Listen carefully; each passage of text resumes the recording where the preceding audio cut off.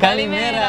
Astăzi vă arătăm vacanța noastră din insula Creta și cele mai șmechere plaje pe care am fost, inclusiv cea mai periculoasă.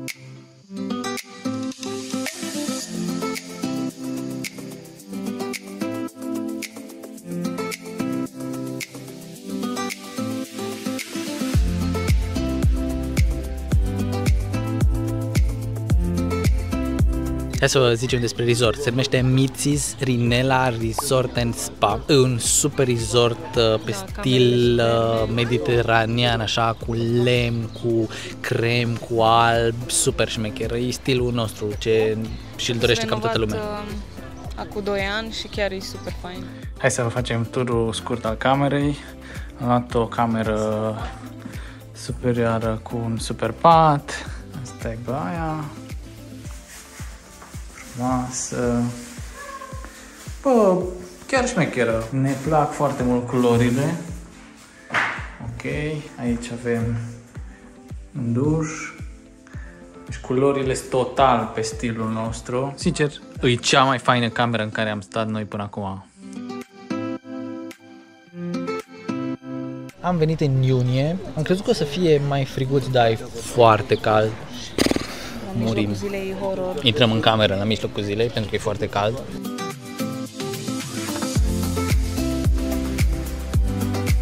Și restaurante Căcălău. Este restaurantul care poți să mănânci toată ziua la principal.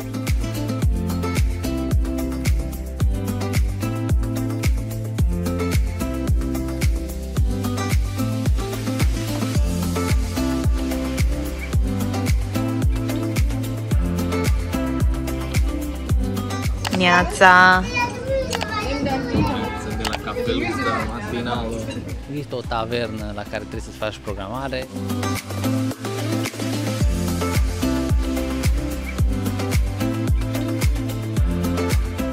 Restaurant italian, avem un uh, restaurant de steakhouse, un restaurant asiatic. La Life Protiv faceți-vă rezervare fix în momentul în care ați intrat în resort, nu de altceva, dar noi ne-am gândit după o zi să ne facem rezervare și nu mai găseam rezervare numai în ultima zi. Am mai găsit rezervare numai la tavernă, dar nu e o problemă pentru că noi nu prea mâncăm, noi suntem certați cu mâncarea și cam facem pagubă la all inclusiv. Adică suntem de șapte zile aici și am fost o singură dată la lunch. Lângă toate restaurantele astea, mai există cornere de unde poți să-ți iei mâncare. Cornerul de barbecue, unde se fac tot felul de chestii pe grătar. Porum, hot dog, suvlaki, pita, cu tot felul de chestii în ea și alte chestii ce se fac pe grătar. Mici, n-au. Mai există un colț unde poți să-ți faci plăcinte clătite, cu înghețată, cu ciocolată, cu waffles, sandvișuri, hot dog și tot felul de prostii, prăjituri în prostie. Standul preferat al lui Briggy, de unde îți, cum, îți iei pizza, au ăștia aici un ler, efectiv, în care fac pizza toată ziua, vreo 4, 5, 6 feluri, îți iei pizza la felie, câte vrei toată ziua. Deci de foame și de sete n-aveți cum să muriți. După cum se vede, toată sala mea s-a dus într-o săptămână dar nu pentru că mănânc mult, ci pentru că stau la soare și soarele îngrașă, deci nu stați la soare. Foarte important e să vă cremăliți toată ziua, nu de altceva, dar sunt aici niște oameni mai roșii decât planeta Marte, mai roșii decât roșia. și eu sunt ospătar toată ziua. Brighi ce dorești și ghiciți ce aduc non-stop la Brighi. Apă cu gheață, să nu facă pagubă la all inclusiv.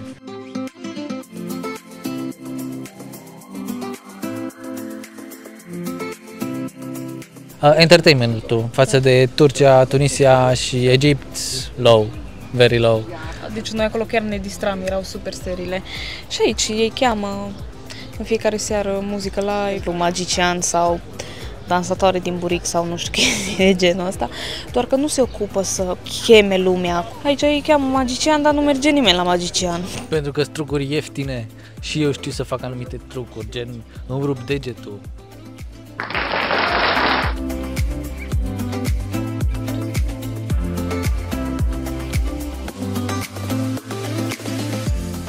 Neața, deci noi ne-am trezit la 6 să vedem răsăritul. Un pic ne-o dat apă noria, gen am văzut răsăritul 5 minute acolo sub noria aia. Dar fiți atenți, schemă, că sunt alții care se trezesc la 6 pentru altceva. Sunt alții care se trezesc la 6 dimineața ca să ocupe șezlonguri.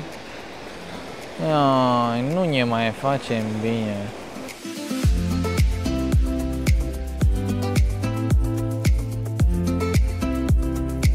Cel mai dezamăgitor este că nu avem alge. Unde este chiștocul de țigară? Unde este mizeria? Din păcate, ăștia n-au nici jec.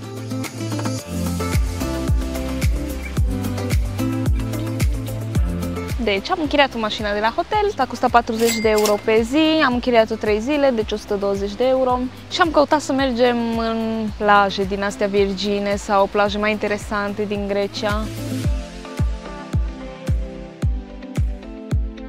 Am ajuns în Matala. Am ales pentru astăzi uh, să venim uh, într-o locație arhic cunoscută din uh, Creta. Sunt niște peșteri foarte șmechere și vechi aici, niște peștere romane în care se ascundeau pelerinii pe vremuri când erau persecutați.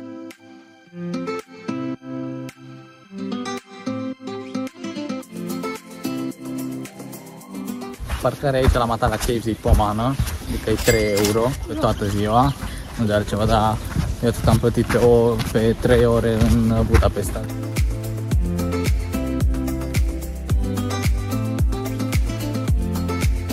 Am urcat până sus, se vede superb de aici plaja Matala, e chiar fain view ăsta de sus, costă 4 euro pentru adulți, dacă aveți 25 de ani intrați gratis.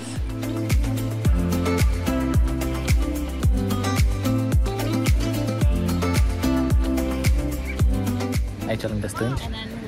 Mi-am luat uh, două șezlonguri și o umbrelă, 8 euro pe zi. Pomană, frate, pomană. Chestia super nice aici. Ideea e că eu când am venit uh, în Creta am căutat locuri de sărit. Jesus, unul a sărit în cap. Am căutat locuri de sărit. mi îmi place mult să sar de pe stân sau în piscine naturale și n-am găsit. Dar aici, lângă situl ăsta arheologic, este un loc șmecher să vi-l arăt de unde se sare și o să unde să sar.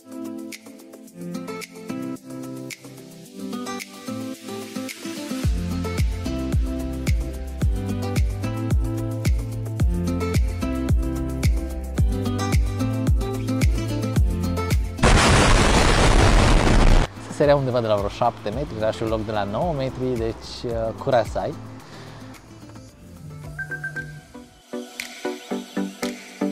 În ziua a doua am fost la o plajă foarte periculoasă, cea mai periculoasă plajă din Creta.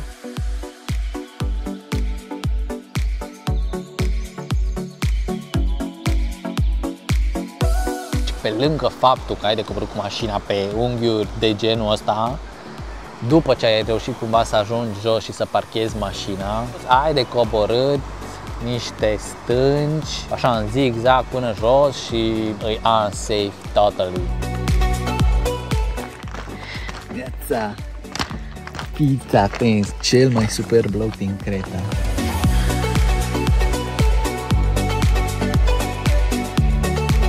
Se recomandă să veniți cât mai devreme. Noi ne-am trezit la 4 azi dimineață. Pentru că noi stăm la 2 ore de aici.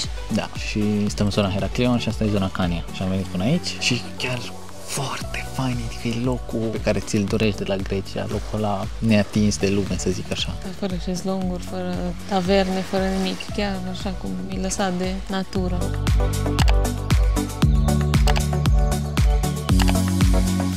Stăm uh, câteva ore pe aici, pe pietrele astea, neapărat să vezi șlap de apă, nu așa nașpa ca ai noștri, dar numai din ăștia am găsit. Și la coborâre neapărat încălțăminte sport. Life sportiv pentru droniști care vin aici. Faceți-vă lock facility de undeva de sus, pentru că aici nu este să Și nu pornește drona. Nu pornește drona. Eu am fost nevoit să mai urc o dată tot traseul până sus este military facility undeva la vreo 10 km de aici. Și este și aeroport. Și aeroport, da. Dar eh, ce nu facem noi pentru niște clipuri și poze?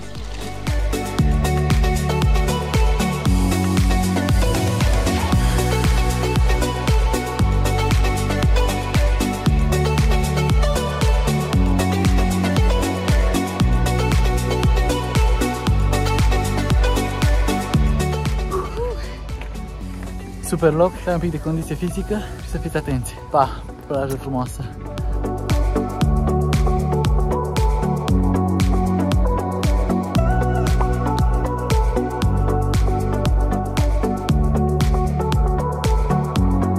În ziua a treia ne-am dus uh, în un bay de aici în apropiere care are super multe locuri din astea mortale.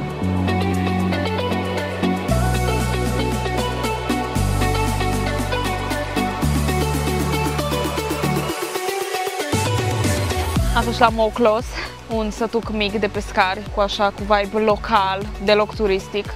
Adică puțină lume merge acolo, foarte drăguț.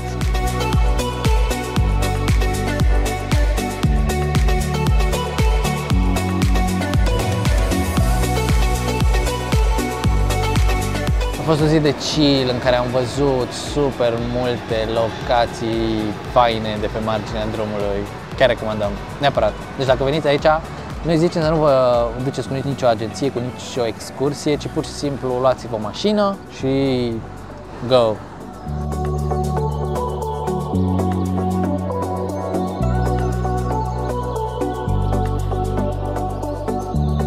În rest, plajă, soare, dormim, bem, mâncăm. Ce face românul clasic în uh, concedii? Mergem în bazar să cumpărăm chestii și îi cumpărăm la nepoțelul nostru, pentru că nepoțelul nostru de fiecare dată când mergem acasă ne întreabă Ce mi-ai adus?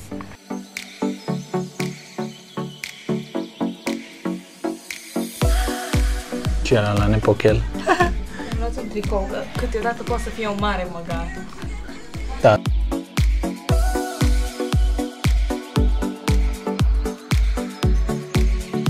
Deci, Grecia, din punct de vedere al peisajelor, super fain.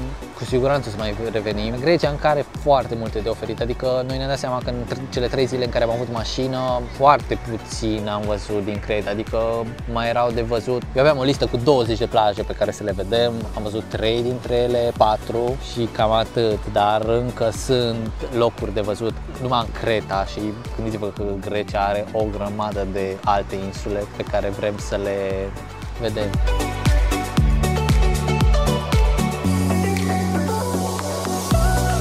Da, cât am plătit? Am plătit 2700 de euro pe 7 nopți, 8 zile. Cam așa sunt prețurile în Grecia, e un pic mai uh, piperat decât uh, Egipt, uh, Egiptul, Turcia. Tunisia, Turcia. Deși am văzut că în ultimul an au crescut prețurile și acolo.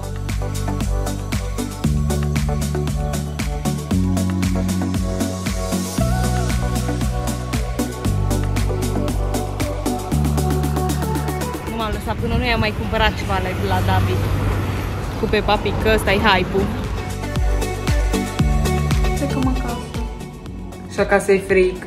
Mega frig. Mulțumim că ne-ați urmărit. Like, share, subscribe, alea, alea. Ne vedem data viitoare. Pa!